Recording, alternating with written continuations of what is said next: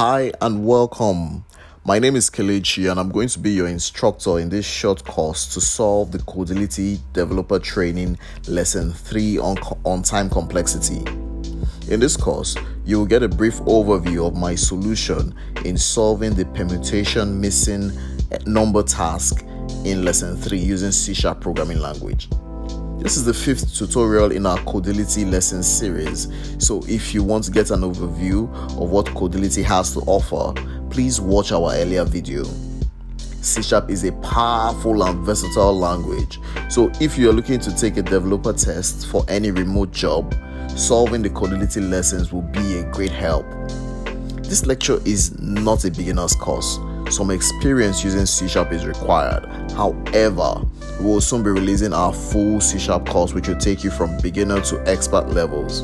So, once again, my name is Kelechi, and I'm a software developer with over a decade of experience developing and teaching software development. Let me know in the comment section how this course has helped you or if you have any question and don't forget to like and subscribe to our channel because it helps us out a ton. So without wasting any more of your time, let's get right into it.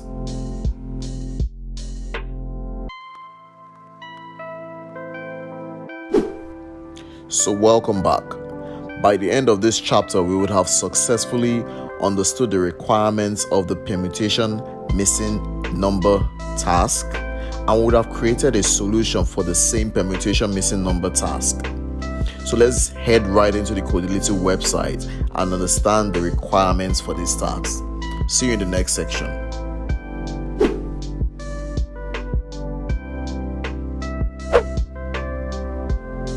Welcome back. In this section, we're going to understand the requirements for the permutation missing element task. And it reads An array A consisting of n different integers is given. The array contains integers in the range of 1 to n plus 1, which means that exactly one element is missing. Your goal is to find that missing element. So write a function which is a class called solution and has a method also called solution which takes in an array of integers as arguments and returns an integer that given an array A returns the value of the missing element. For example, we are given an array such that the, uh, uh the value in the zero position is 2, the value in the first position is 3, value in the second position is 1 and value in the third position is 5. So this function should return 4 because this is the missing element. We are to write an efficient algorithm for the following assumptions. n is an integer within the range of 0 to 100,000. The elements of A are all distinct and each element of of array A is an integer within the range of 1 to n plus 1. So in the next section, we're going to begin developing our solution to solve this task. See you then.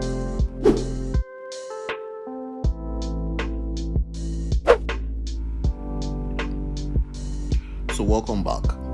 First, let's create a console application and call it permutation missing numbers.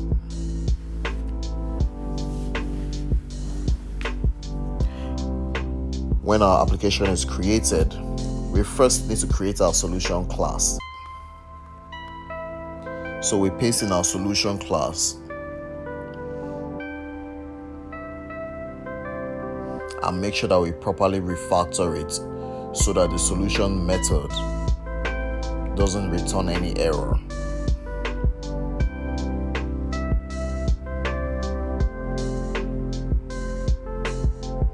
So in our solution, the first thing we want to do is to order the values in the int array so that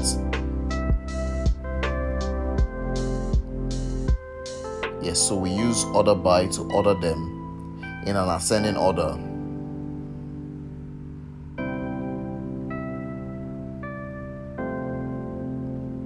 And we cast our results to a list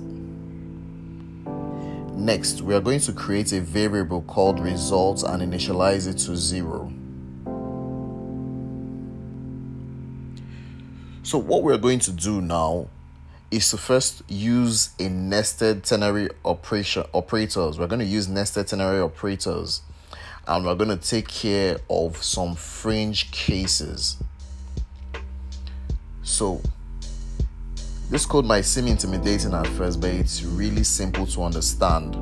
All we are doing is to take care of some cases that are fringe, that are on the edges, so that we catch every possible outcome in our code. So we first check to see if there are no elements in the array. And we do that by checking if values.count is 0. If this is the case, we return 1 as our missing element. We then check the int array to see if it has exactly one element.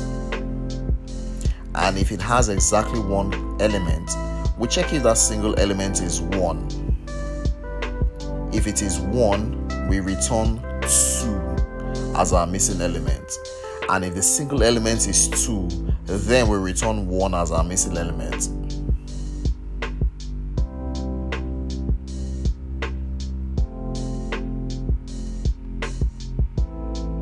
And finally, we check if the values in the int array are greater than 1. This is the final fringe case. And if the, the first element is 2, then we return 1 as our missing element. S, else we just return 0 as a missing element. But this 0 we are returning is just to tell us that, okay, the values in our array is greater than 1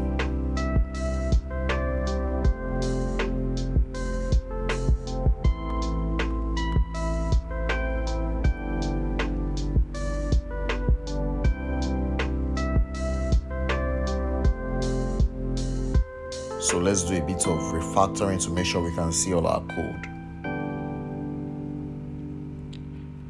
So next, if we have 0 in the result, we know that we have more than one element in our int array.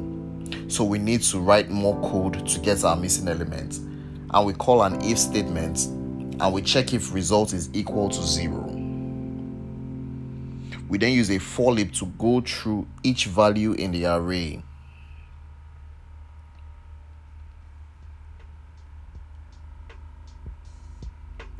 we now use an if statement inside our for loop to test if the next value in the array is equal to the present value plus 1.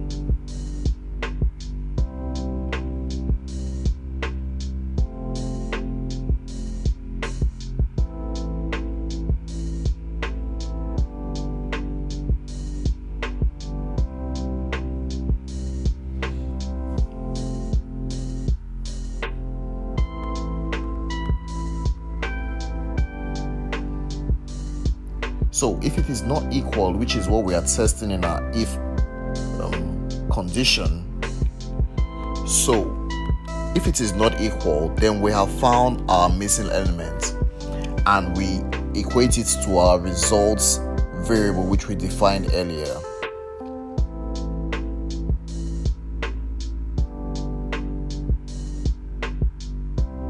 We then use the else statement to check if we are at the end of the array.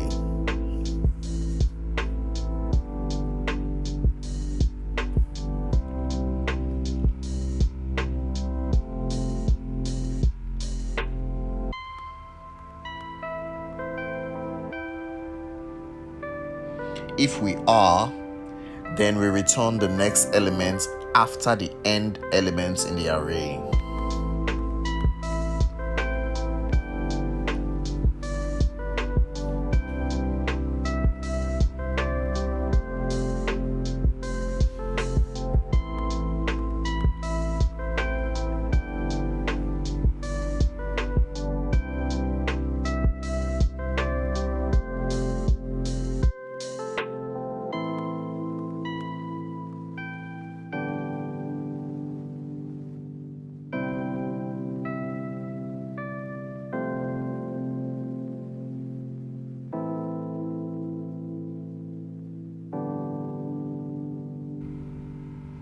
All right, so finally, let us modify the main class so that we can test our conditions. We define a new instance of the solution class. Then we define an array of integers with the test conditions from the Codility website.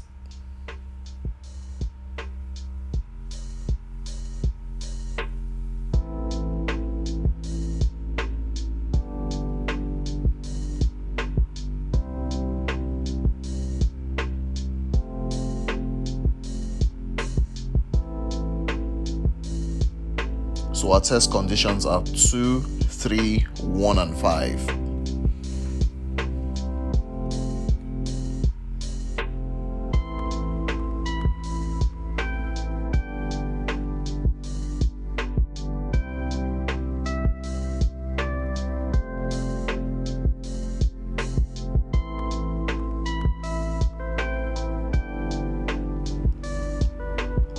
We then call the solution method and passing the array.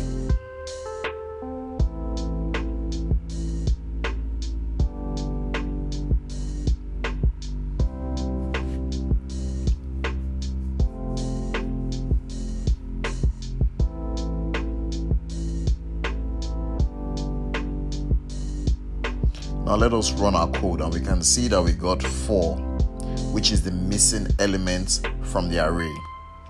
So our code works. Let us go back to the Codility website and test our solution. We copy the code from our ID here.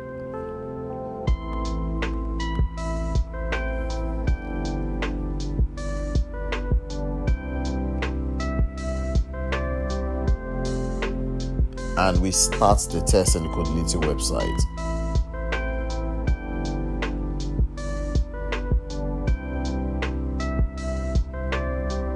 Make sure your default language is C sharp and you confirm. Next, we paste in our code into the sol- solutions method in the IDE. Make sure to import every necessary statement. In this case, we need to import the using System.Linq namespace. And we run our code.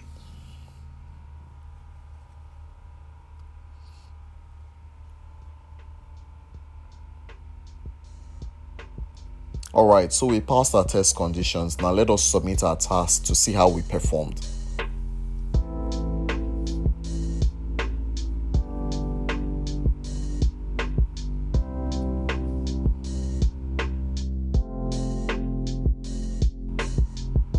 Great job. We came out with a 100% performance. So our code passed all conditions and we obtained a perfect score you can go ahead go ahead and test and see your correctness test and all performance tests and see how the code worked. So let's get right into the next section. See you then. Wow you made it to the end. Thank you so much for watching to this point. Really hope that this course has helped you the source codes for this task can be found in the description below. And if you're still having any challenge, please let us know in the comments below. Or if you feel you have a solution that's better than ours, we are more than welcome and willing to learn from you. Remember, we will soon be releasing our full C Sharp course from beginners to masteries in the coming weeks. And we have a ton of great materials and courses lined up to take you to the next level of your programming journey. So don't forget to like and subscribe to our channel. Until next time, take care.